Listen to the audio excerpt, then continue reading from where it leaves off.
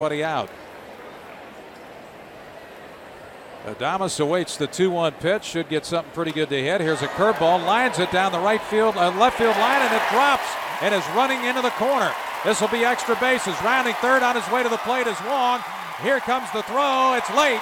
2 0 Durham.